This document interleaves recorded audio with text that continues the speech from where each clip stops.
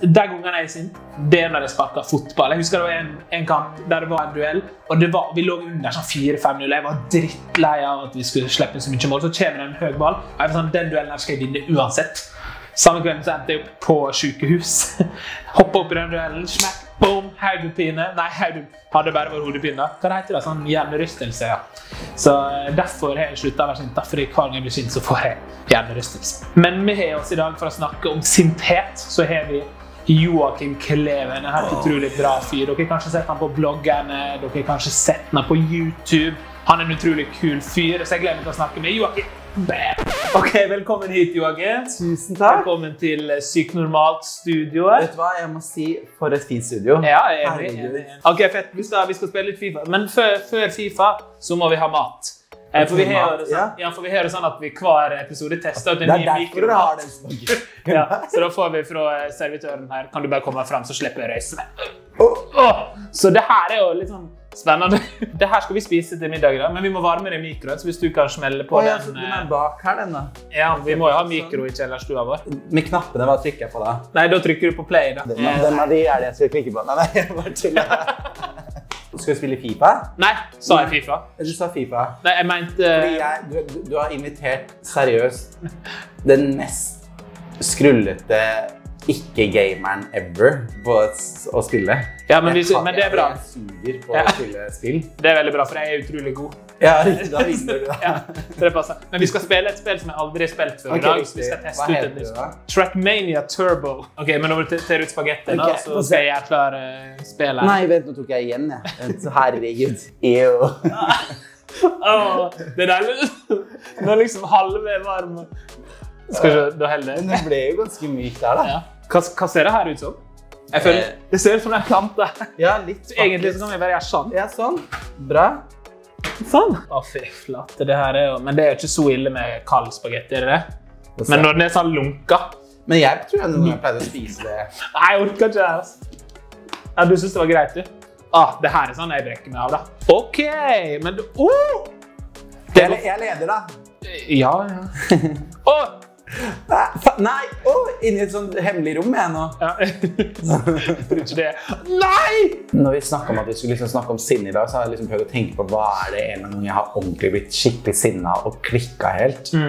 Og jeg tror aldri jeg har blitt sånn dritsint på noe. Men jeg kan ofte liksom bli nok liksom frustrert og irritert på ting. da. Hvis noen, hvis noen provoserer meg kanskje og har en helt syk holdning som er veldig konservativ, det kan være at jeg blir, kan bli sint på være irritert. Ja, og det er jo litt sånn når man er med Ja. i demonstrasjoner, da. Ja, Eller, altså, riktig. hvis man brenner skikkelig for en sak, så blir jeg, jeg blir jo sur når jeg ser noen bli Ja, urettferdig behandla. Ja, men jeg kan bli sint sånn om jeg har sett sånn klipp på nå de siste ukene. her, jeg vet ikke om jeg sier det feil, men er det Sian de heter, dem som er så imot islam og sånne ting? Og måten de snakker på, og måten som det sinnet der er, gjør meg så provosert at de kan ah? Ja, det kan gjøre meg skikkelig sint. Ja, Klarer du å beskrive den, eh, den følelsen som du får inni deg når du opplever sånne ting? Heldigvis så føler jeg at jeg har følelsesregister som er veldig At jeg har kontroll på det. At jeg føler ikke at jeg har, jeg har, noe, jeg har ikke noe sinneproblem i det hele tatt. Jeg føler egentlig at jeg er en ganske sånn myk og rolig person. Men alle kan jo kjenne på å være irritert over noe. Og jeg tror nok hvis man skal tenke på sinne, så jeg vet ikke helt om det er riktig svar å gi, men er du superirritert over å ikke klare å få til noe, så blir man jo mer og mer frustrert, og frustrasjon går til irritasjon og sinne. Det koker litt inni deg, da. Sinne for meg da, er noe jeg assosierer med noe negativt. Ja. Og sinne er noe liksom, Du blir sinna, du har ikke noe kontroll på det. Og, så videre. og jeg dessverre tenker sinne som er litt voldelig og litt noe du på en Ja. måte liksom, Du blir sånn hulka av deg. da. Jeg tror sinne fører jo, kan jo ofte føre til vold, fordi Ja. man er, man er det, det er jo forferdelig. Ja, ja. Men hva tenker du om sinnet, da?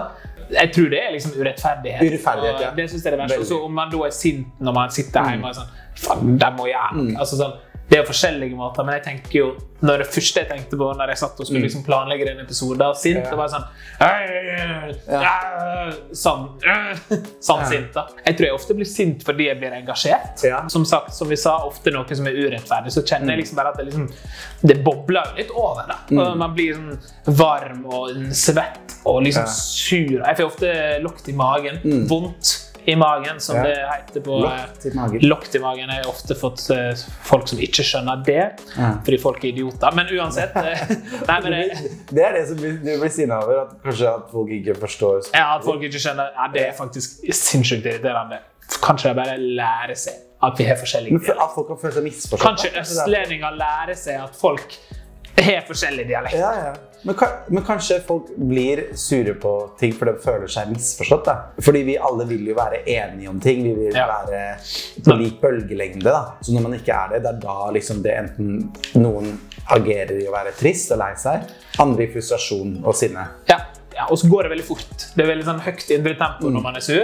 Det er sånn, ja, nei, nå burde jeg det, nei, nå sier jeg det, nå sier jeg det, og så sier jeg noe man angrer på, så blir man surere fordi man faen, det var ikke det jeg mente, og så blir det sånn. Så blir det Ja, det er kanskje det verste når du først begynner å, trigge, altså begynner å snakke om noe, så begynner du å tenke sånn Egentlig er jeg kanskje litt barnslig i situasjonen nå, og det er diskusjon, eller du overreagerer litt, og så vil du ikke at folk skal tenke at du overreagerer. Ja. Så du ender opp med bare å prøve å unnskylde deg, som egentlig bare gjør at folk bare tenker at du enda mer overreagerer. Ja. Men jeg tror nok sånne ting som har gjort meg sinna, hvis ikke sant, alle dessverre mest sannsynlig har opplevd en form for mobbing i livet sitt. Hvis man liksom spoler tilbake tiden og tenker på det, så kan jeg liksom bli provosert og liksom sint inni meg. Tenk hvis jeg da, den situasjonen, hadde bare vært tøff og stått opp for meg selv. Da skulle jeg liksom kjeftet huden full Ja. på de som liksom mobbet meg. da. Så jeg kunne godt tenke meg at ah, tenk hvis jeg bare en eller annen gang kunne liksom alle dem som kalte meg homo, mobbet meg liksom på ungdomsskolen. Og bare kunne liksom tenke seg bare siste skoledag. Det har vært et sånt scenario jeg har hatt i hodet hele tiden. At jeg bare gikk opp på talerstolen og bare sånn Ja, fuck dere, jeg er homo. Og slutt å prøve dere på meg. Eller bare vær liksom, sånn, bare vært sånn savage og sjekka litt utenfull. Og vet du hva, Deres, de som mobbet meg, var han, han, han, han. Jeg ser at foreldrene sitter her.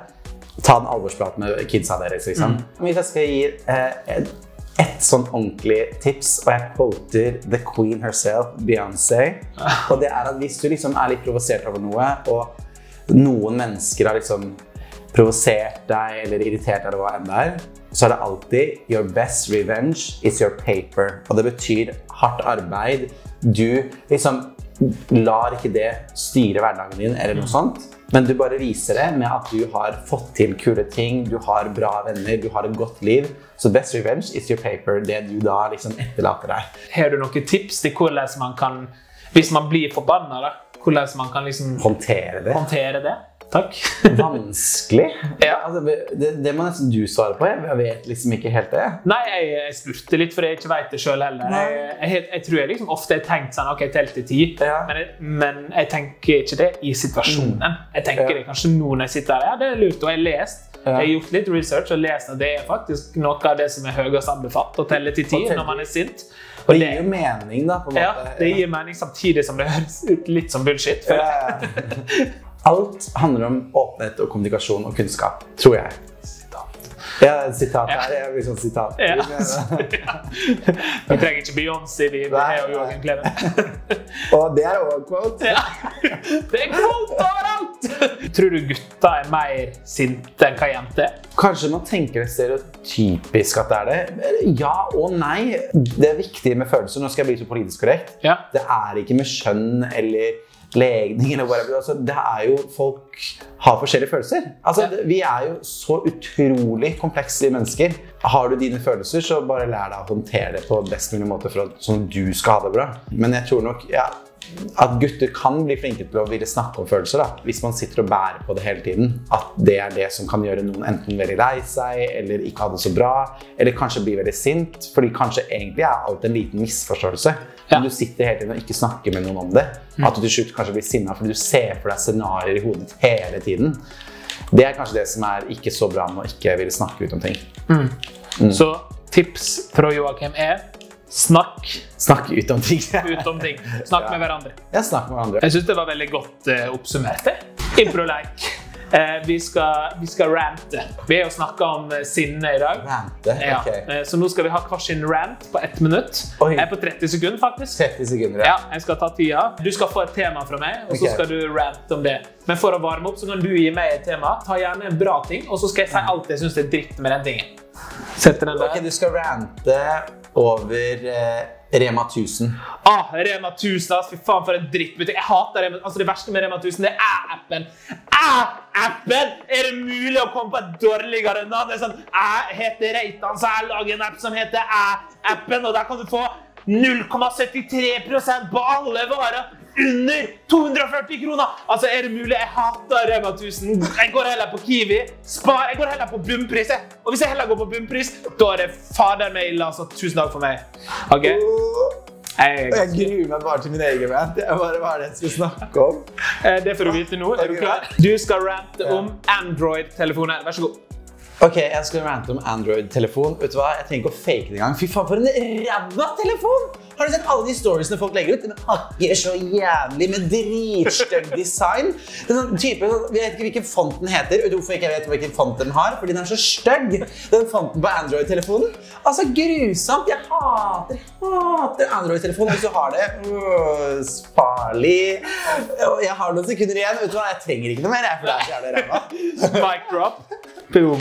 Så kanskje egentlig hvis du får litt aggresjon, skal du fake impro ved å tenke om et tema. Bare få det ut! Og så bare Ja. Kanskje det er moralen overalt. Ta en rant hvis du trenger det. Tusen takk for at du kom. Vi er tilbake i neste episode. Jeg vet ikke hvorfor vi begynte å gjøre sånn. Men husk, dere må abonnere på kanalen. Ja.